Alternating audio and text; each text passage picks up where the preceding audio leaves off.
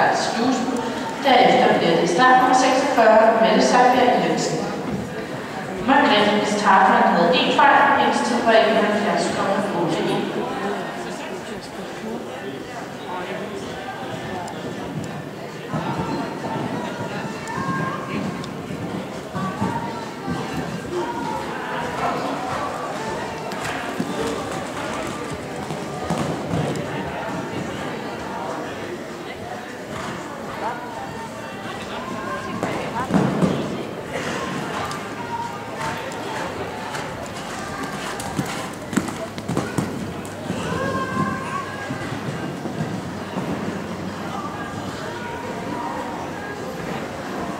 Ömür'de